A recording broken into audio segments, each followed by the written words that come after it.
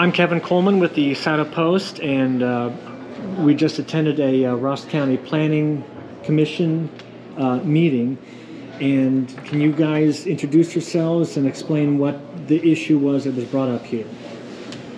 Yes, uh, I'm Kelly Dennis, the Associate Director, and um, we just, you know, Associate Director of, Paint Valley ADAMH. Board, I'm sorry. okay, Um, you know, we came to the Planning Commission tonight, we have a request for uh, a driveway access for our property, and it was, um, as you saw, we didn't get a motion to move forward on voting whether we have access or not. So um, this access would serve a, a mental health crisis center, 24/7 mental health crisis center that we've been working on for several um, several months now, better part of last year. But um, unfortunately, was- we didn't get the the motion that we needed or the second to move forward on a vote. Uh, so that's where we are.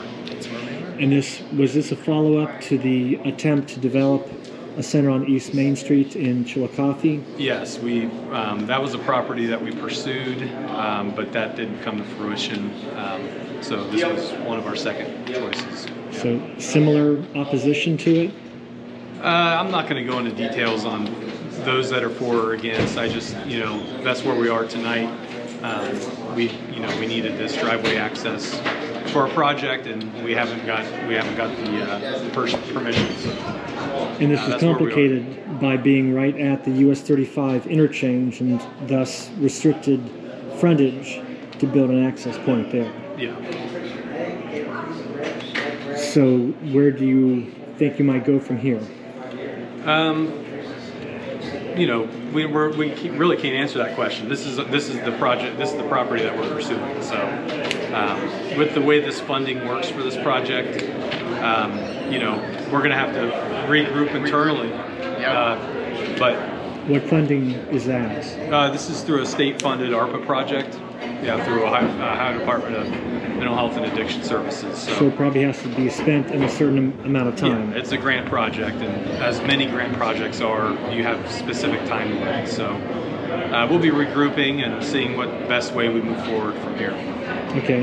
If people want to learn more about what you're trying to do or your other services, how can they learn more? Yeah, um, you know, we're in the office every day, so you can call in, uh, meet with our uh, leadership staff. Uh, 740-773-2283 is our main line.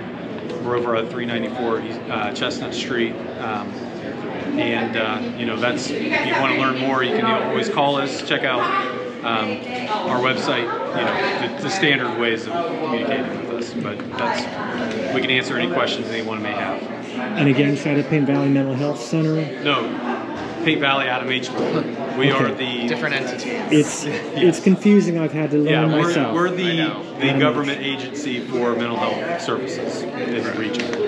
and there's a need for the facility that you're trying to build. Yes, there's there's been identified a need from the state level, um, from our local assessments, and you know this has been a priority for the state is trying to get these facilities throughout Ohio, uh, which I feel is one reason why a project was selected for funding. Um, so you know we're going to continue to work towards towards meeting that that, you know, Thank you very that project requirement. okay. Thank you very much.